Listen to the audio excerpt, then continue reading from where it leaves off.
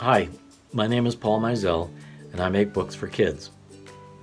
Two books I've made are called Nature Diaries, and they're intended to be the thoughts of two animals, a praying mantis and an eastern bluebird.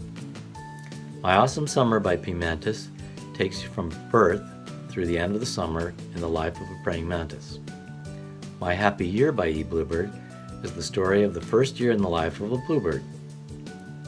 Both stories take place at my home in Connecticut because that's where I observe these animals.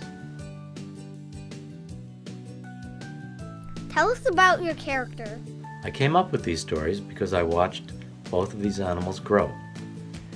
First, I brought a praying mantis egg case inside in the fall.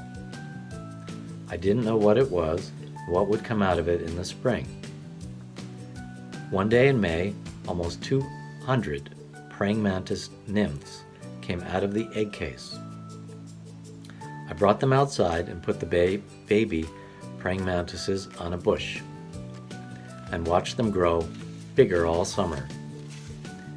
At the end of the summer, some adult praying mantises made new egg cases, and I saw more baby mantises the next spring.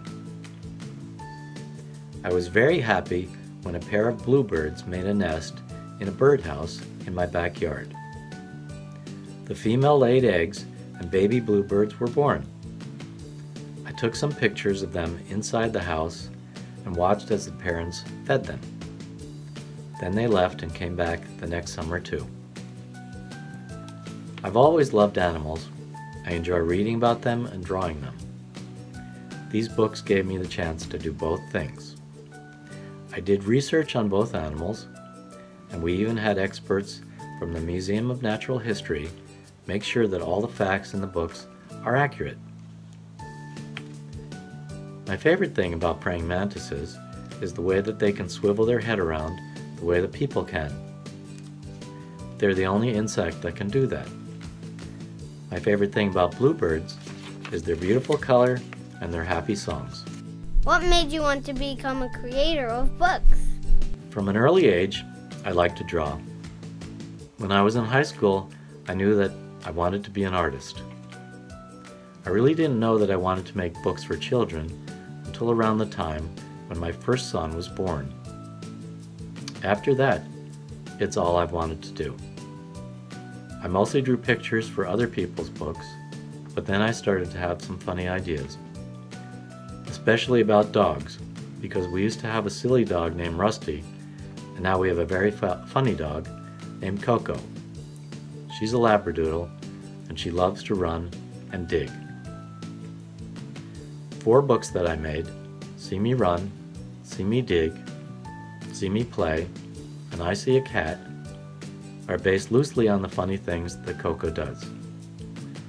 When I was growing up, we had a collie named Taffy. Having Taffy was one of the reasons that I knew that I loved animals so much. She was a great dog. If you found a whale in your bathtub, what would you do? So this is supposed to be a funny question, I know. But my first response would be how did the whale get there? And then I would worry about how to get the whale safely back to the ocean.